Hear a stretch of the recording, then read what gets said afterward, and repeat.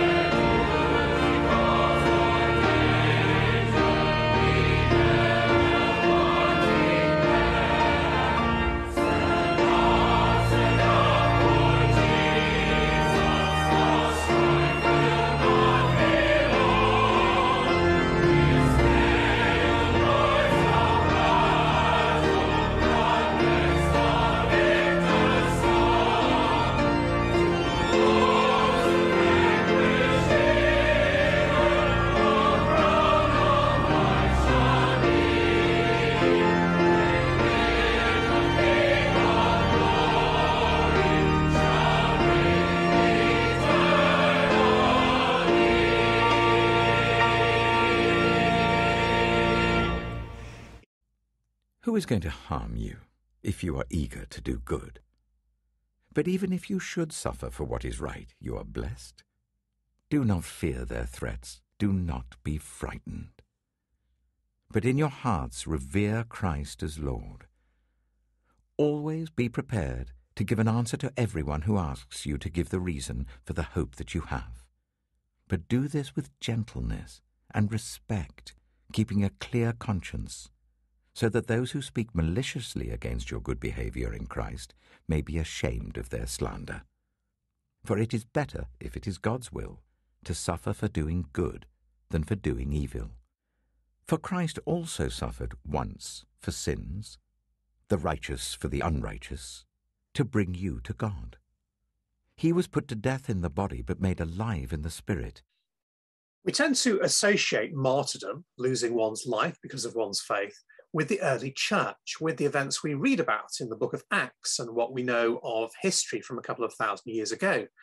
So Stephen is recorded as the first Christian martyr, and we read of others dying for their faith in Christ.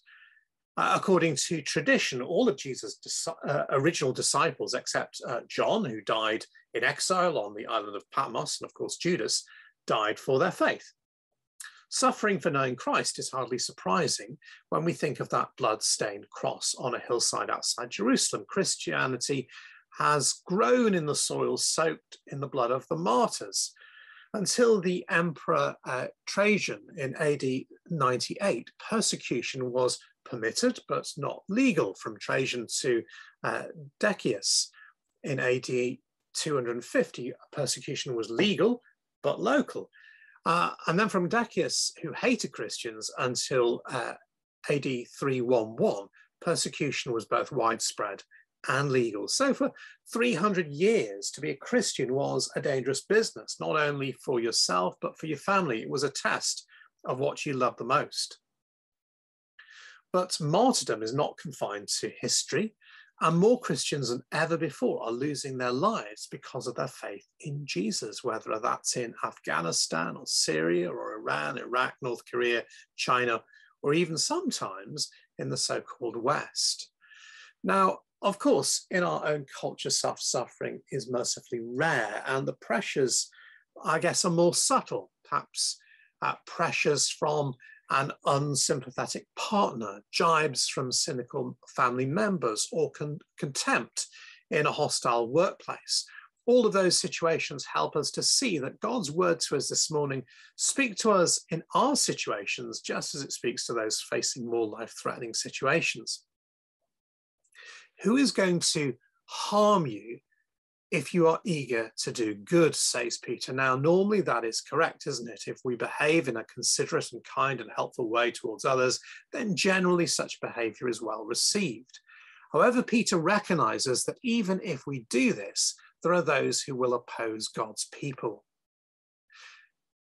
But even if we should suffer for what is right, we're blessed do not fear their threats. Don't be frightened. Now, in the Sermon on the Mount, Jesus said, Blessed are you when people insult you and persecute you and falsely say all kinds of evil against you because of me. Rejoice and be glad because great is your reward in heaven. Jesus isn't saying that we should look for trouble or that we should enjoy it. What he's saying is that he will honor those who stand for him. Now, we tend to get terribly upset when we're put down as being Bible bashers, members of the God Squad, and so on. But Jesus and Peter say that actually it's a good sign. At least uh, we're standing out.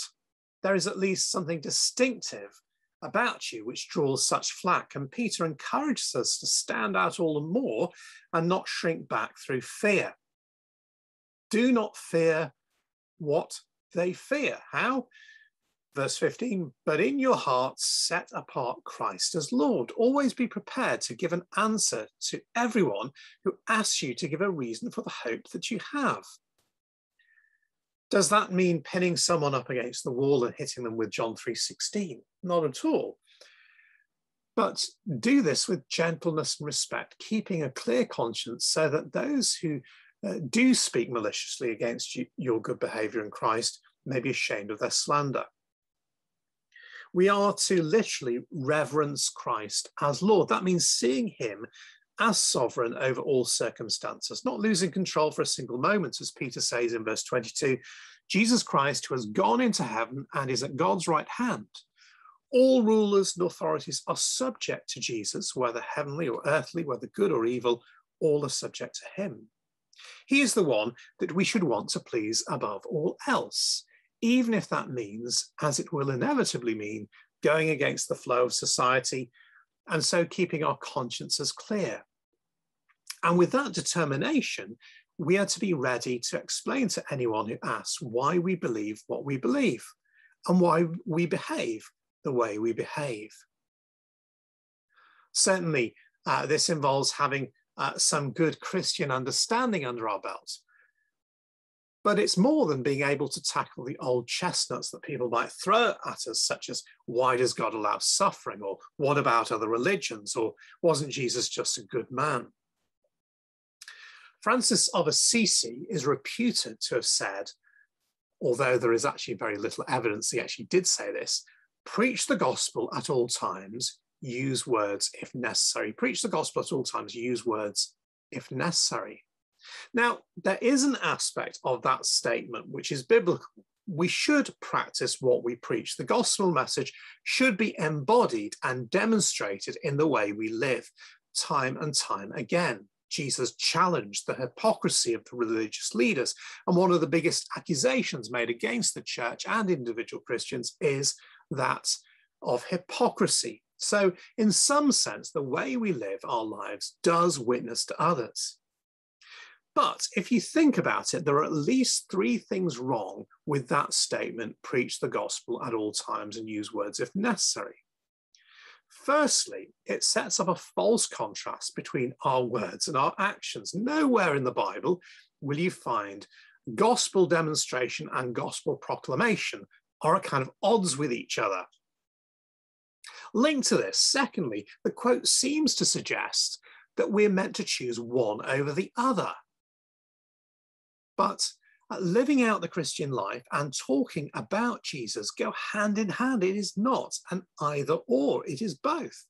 And thirdly, the quote has the effect, therefore, of downplaying the need to actually talk about Jesus as if it is enough to set a good example. Now, Peter wants us to see that living out the gospel, obeying Jesus' teaching is essential, but so is our witness to Jesus. No one is going to be pointed to Jesus uh, just by our lifestyle. Without the gospel message, people will simply assume that being a Christian is just about trying to live a good life. That's actually a dangerous message to present to others because it does not present to them the cross of Christ. Uh, in a communion service, we remember Jesus' death for us, his sacrifice, without which it would be impossible to receive his forgiveness to know him in our lives today, or indeed to share eternity with him. So without that message, people are lost. Their life is going in the wrong direction. People need to hear the gospel. Now, at this point, maybe you're feeling a little bit uneasy. Well, I don't really know what to say. I, I can't think of the right words. I don't know how to answer people's tricky questions. I don't know how to present the gospel to someone else. Well, that might be the case, and I've got two things to say in response. Firstly, it is always good to work at what we don't know. Instead of just throwing our hands up in the air and saying, I can't do that, isn't it worth thinking about some of these issues, which, after all, have eternal implications. Isn't it worth thinking about how we might simply share our faith so that when we're asked, we have an answer? Secondly, don't confuse eloquence with witness. In other words, sharing our faith is not about being able to give mind blowing answers to people's questions. It's simply about pointing others in Jesus' direction. And it's something we can all do. I love the example uh, in our gospel reading of the man who's healed from is blindness. Blindness he's had from birth. Now, we didn't have time to read the whole background to the incident, but in John 9, Jesus encounters a man who's been blind since birth, and rather than heal him on the spot, Jesus makes mud with his uh, saliva, puts it on the man's eyes and then tells him to go and wash in, the, uh, in a pool called Siloam. The man goes off and does this, and he is able to see. And at this stage, although he physically sees, he doesn't yet spiritually see. So he doesn't fully understand who Jesus is. So when he's asked how he sees, he says, Well, the man they call Jesus made some mud, put it in my eyes, and he told me to go and wash in the pool of Siloam. And I went and I washed and I could see. Well, the man is taken before the religious leaders who, in their hypocrisy, are furious because Jesus has healed someone on Sabbath. They get into an argument about whether Jesus is from God or not and end up asking the man. Uh, he's a prophet, comes the response. The religious leaders dispute the miracle, call the man's parents in, and the parents really bottle it. They don't want to get on the wrong side of the authorities, so they say, uh, We know he's our son, and we know that he was born blind, but you'll have to ask him how he can now see. He's old enough to answer for himself. So they try and co- coerce this man into saying something bad about Jesus. Tell the truth and give glory to God. We know this man, Jesus, is a sinner. Whether he's a sinner or not, I was blind, but now I see, comes the response. And uh, the thing is that every time this man stands for the truth and says what's happened, every time he puts his head above the parapet, he gets stronger in his understanding. They start to insult the man and tell him that he's a sinner until he says, You don't know where he comes from, yet he opened my eyes. We know that God does not listen to sinners, he listens to the godly person who does his will. Nobody has ever heard of opening the eyes of a man born blind. If this man were not from God, he could do nothing. In other words, the man begins to join the dots. And as a result, he's thrown out of the synagogue, but Jesus later meets up with him, and the man comes to a full understanding of who Jesus is. He uh, sees spiritually, if you like, and he responds in worship. He worships Jesus. In other words, he recognizes Jesus is God. As the story unfolds, the man grows in his sight, and those in opposition to Jesus get ever more blind. But notice that the man, even though he does not have a full understanding, even though he's not been on an evangelism course, he's prepared to say what he does know about Jesus. And that's what Jesus wants us to do. Look, I don't know the answer to your question. Why don't you come with me to church? Or, like the man, we can explain the difference that Jesus has made in our lives. We might not have uh, the experience of receiving physical sight, after being blind, but we can testify to other things that God has done in our life. As Peter tells us, always be prepared to give an answer to everyone who asks you to give the reason for the hope that you have. Being prepared is to some extent about thinking our faith through. And house groups and personal reading of the Bible are great ways to begin to do that. But being prepared is also about being willing to put our head above that parapet. Unlike many of our brothers and sisters around the world today, we probably won't face martyrdom, but we may well face hostility, just as the man in our gospel reading did. Are you willing to stand up for Jesus today? Let's pray. Lord, we thank you for calling us into your family, and we pray that you would enable us to share our faith with those around us. We pray for the words to say when we are in situations where there is an opportunity to uh, talk about you. Lord, we pray for boldness and we pray for wisdom in uh, what we say. And Lord, just pray for opportunities to invite friends to uh, events, to services, uh, to other opportunities where they may just discover more of your love for them. We pray also, Lord, that our actions would be consistent with our beliefs. We, we may be a people who practice what we preach, so that there is no hypocrisy in us. And Lord, we pray that you would help us in those times where perhaps we do face opposition uh, from those around us or pressures to conform. Help us to stand up for you. We pray, Lord, for our brothers and sisters around the world who are experiencing uh, persecution for their faith and maybe uh, whose lives are threatened this day. We pray that you would surround them with your protection, with uh, an awareness of your presence and your love for them. We pray for their families. And we ask all of these things in the name and for the sake of your Son, our Saviour, Jesus Christ. Amen.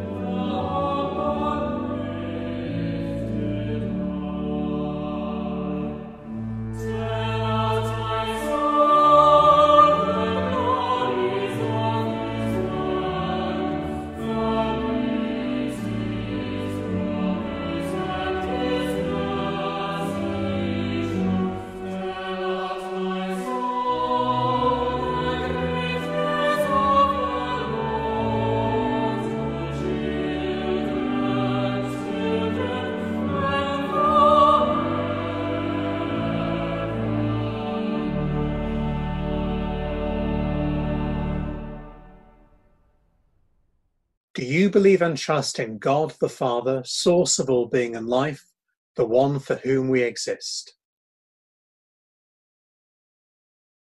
Do you believe and trust in God the Son, who took our human nature, died for us, and rose again?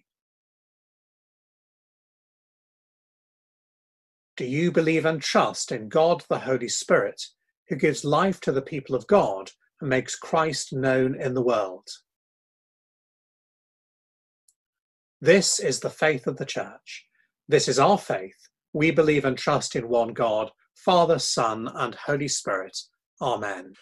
Lord, we pray that aid would get through to where it is most uh, needed around the world. And we think of the charities that we support as a church. Think of other Christian charities and the work that they do. Uh, Lord, in your mercy, hear our prayer.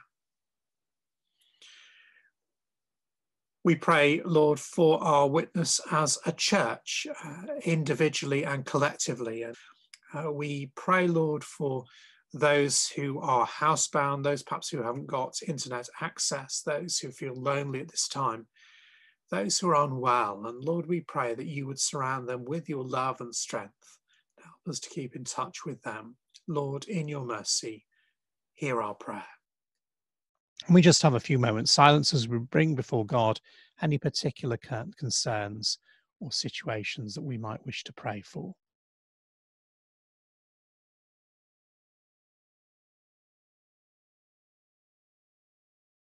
We ask all of these things in the name and for the sake of your Son, our Saviour, Jesus Christ. Amen. So we join in the words of the Lord's Prayer Our Father in heaven, hallowed be your name. Your kingdom come, your will be done on earth as in heaven. Give us today our daily bread. Forgive us our sins as we forgive those who sin against us. Lead us not into temptation, but deliver us from evil. For the kingdom, the power, and the glory are yours, now and forever. Amen.